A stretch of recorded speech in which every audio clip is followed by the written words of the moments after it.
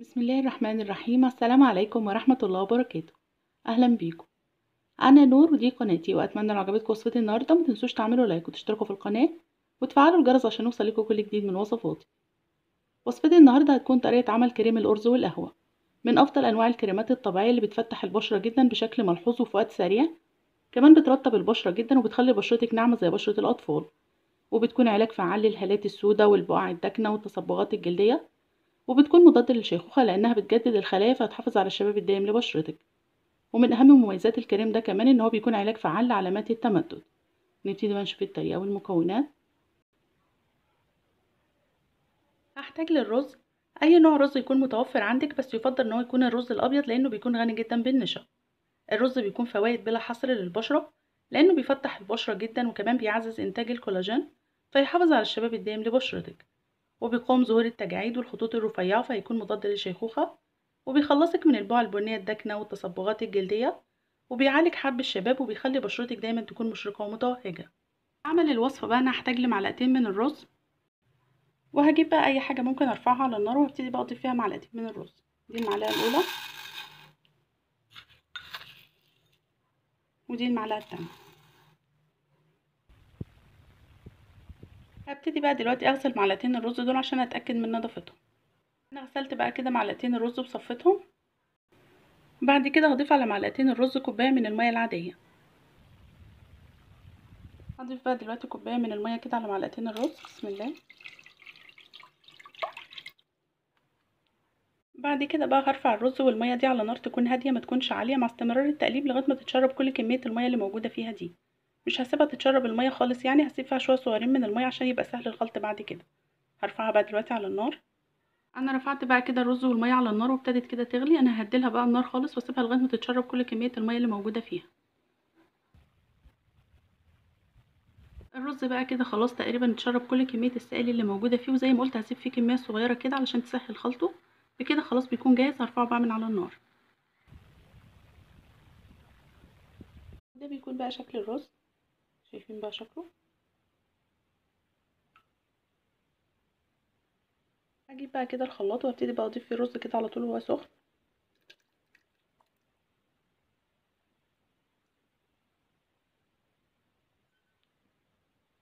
هخلط بقى دلوقتي الرز لمدة كافية لغاية ما يبقى ناعم جدا. أنا خلطت بقى الرز لغاية ما بقى ناعم جدا بالشكل ده شايفين بقى شكله؟ بقى زي الكريم كده. باستخدام بقى مصفى سلك تكون ضيقة جدا هبتدي بقى أصفي الرز عشان عايزاه يبقى خليط ناعم وما يكونش فيه أي بواقي خشنة من الرز. هبتدي بقى كده أصفيه.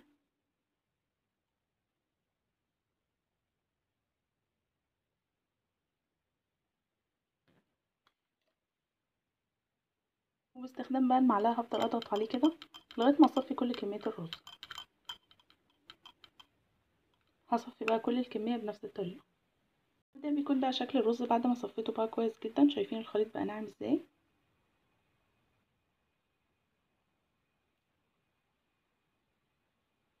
أنا هحتاج لمعلقة من نشا الذرة. ونشا الذرة ده بيفتح البشرة جدا وكمان بيعمل على شد البشرة وخلق المسام هبتدي بقى دلوقتي بإضافة أول مكون على الرز المطحون اللي أنا صفيته. هو مقدار معلقة صغيرة كده من نشا الذرة. وده بيكون المكون الأول. هحتاج لمعلقة من الحليب المجفف أو حليب النيدو والحليب المجفف ده بيفتح البشرة جدا وكمان من أروع الحاجات اللي بتخلصك من البقع البنية الداكنه والتصبغات الجلدية بشكل فعال جدا. وكمان أي وصفة بيجتمع فيها النشا مع الحليب المجفف بتكون نتيجة هايلة في التفتيح. هضيف بقى دلوقتي المكون التاني على الرز المطحون وهو مقدار معلقة صغيرة كده من الحليب المجفف أو حليب النيدو هحتاج لبودرة القهوة سريعة الذوبان أو بودرة النسكافيه.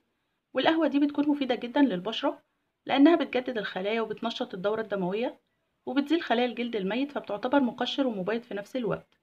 وبتكون فعالة جدا في التخلص من الهالات السوداء وعلامات التمدد أو الخطوط البيضاء وبتقضي على البقع الداكنة والتصبغات الجلدية وبتمنح البشرة نعومة وملمس ناعم زي بشرة الأطفال. عمل الوصفة أنا هحتاج لمقدار معلقة من بودرة القهوة. أنا أخدت بقى كده معلقة مليانة من بودرة القهوة. هضيف بقى دلوقتي على باقي المكونات مقدار معلقة كده من بودرة القهوة. أنا هحتاج لزيت القهوة وزيت القهوة ده أنا عملته قبل كده في القناة بطريقة ناجحة جدا هسيب لكم لينك الوصفة بتاعته في صندوق الوصف. زيت القهوة من أروع الزيوت المفيدة جدا للبشرة وكمان للشعر. المكون بقى الأخير اللي ضفته كده على الوصفة ما هو مقدار معلقة صغيرة كده من زيت القهوة. ولو مش متوفر عندك تقدري تستبدليه بأي زيت يكون متوفر عندك أو بترتاح مع بشرتك. بس زيت القهوة من الزيوت المفيدة والمغذية جدا للبشرة كمان بيفتح البشرة جدا.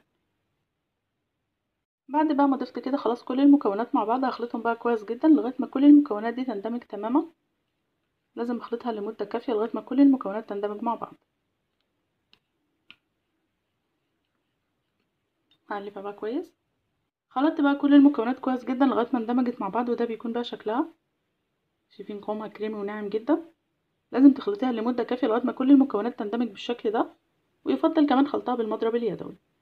وبكده خلاص الكريم بيكون جاهز. نتيجته هايلة هجيب بقى علبة نضيفة أنا غسلتها كويس جدا ونشفتها وهضيف بقى فيها الكريم. وده بيكون بقى الشكل النهائي للكريم بعد ما ضفته في العلبة.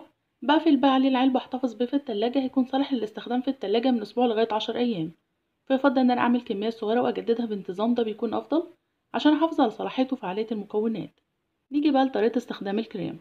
الكريم ده لازم يستخدم على بشرة تكون نظيفة يعني لازم تغسلي بشرتك في الأول كويس جدا وتجففيها وبعدها تستخدمي بقى عليها الكريم. ويفضل كمان استخدامه بعد استخدامك للغسول لأن كل ما كانت البشرة نظيفة كل ما هتكون مهيئة إنها تستفيد كويس جدا بكل مكونات الكريم. بعد بقى ما تغسلي البشرة تاخدي من كريم الأرز والقهوة وتفرديه على كامل الوجه وعلى الرقبة وعلى الإيدين وكمان تقدري تستخدميه في منطقة حول العين لأنه بيكون مفيد جدا للمنطقة دي. وكمان تقدري تستخدميه لأي منطقة في الجسم خاصة الأماكن الداكنة زي منطقة الأكواع أو الركب أو حتى منطقة بين الفخذين والمنطقة الحساسة لأنه بيكون مفيد جدا. أو حتى تقدري تعملي منه كمية كبيرة وتستخدميه لكامل الجسم. نتائجه بتكون مذهلة.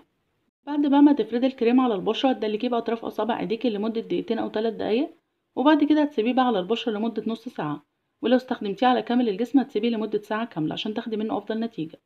بعد كده تغسليه في الأول بالمية الدافية وبعدها بالمية الباردة وبعد كده هترطبي بشرتك بأي كريم مرطب أو ممكن ترشيها بماء الورد. هتستخدمي بقى كريم الأرز والقهوة بنفس الطريقة ده على البشرة من اتنين لتلات مرات في الأسبوع هتكون كافية جدا. ولو حابة بقى تاخدي نتيجة سريعة وفي وقت أسرع ممكن تستخدميه بشكل يومي ده بيكون عادي جدا. بالعكس نتائجه هتكون أفضل كمان لأن كل مكوناته طبيعية وهتكون آمنة جدا في الاستخدام فتقدري بقى تستخدميه كل يوم. الكريم ده من الاستخدام الأول بإذن الله هتلاحظي الفرق في لون بشرتك. هتلاحظي تفتيح مذهل ومضاعف كمان هتلاحظي الترطيب وهينعم بشرتك جدا ويخلي ملمسها ناعم زي بشرة الأطفال. الكريم ده بكل المكونات المستخدمة في عمله بيكون من أفضل وأروع الكريمات اللي بتفتح البشرة جدا وتبيضها وتوحد لونها في وقت سريع جدا. الكريم ده بيحتوي على الأرز والقهوة فهيكون مفيد جدا للبشرة لأنه بيجدد الخلايا وبينشط الدورة الدموية وبيخلصك من خلايا الجلد الميت فيعتبر مقشر طبيعي ومبيض في نفس الوقت. كمان بيكون فعال جدا في التخلص من الهالات السوداء وعلامات التمدد أو الخطوط البيضاء يعني تقدري تستخدميه كمان لأي منطقة في الجسم يخلصك من علامات التمدد وبيخلصك من البقع الداكنة والتصبغات الجلدية. وبيخلي بشرتك ناعمة جدا. إحنا استخدمنا في عمله زيت القهوة؟ وزيت القهوة ده من الزيوت المفيدة جدا للبشرة لأنه بيساعد على بناء الكولاجين في البشرة وبيحتوي على الكافيين ومضادات الأكسدة اللي بتحمي البشرة من التجاعيد والخطوط الرفيعة وبيكون فعال جدا في تبييض وترطيب البشرة وبيساعد على علاج الهالات السوداء وشد الجلد وبيقلل من علامات التمدد وبيقلل من انتفاخات تحت العين. كريم الأرز والقهوة هيكون من أفضل وأروع الكريمات الطبيعية اللي هتفتح بشرتك جدا وترطبها وهيكون مضاد للشيخوخة وعلاج للبقع الداكنة والهالات السوداء وكمان علامات التمدد أو الخطوط البيضاء يعني بيكون وصفة متكاملة وهيغنيك عن شراء منتجات غالية جدا للعناية ببشرتك. وأتمنى طبعا إن تكون وصفتي النهاردة عجبتكم. لو عجبتكم متنسوش تعملوا like و share وتشتركوا في القناة وتفعلوا الجرس عشان يوصلكوا كل جديد من وصفاتي. والسلام عليكم ورحمة الله وبركاته.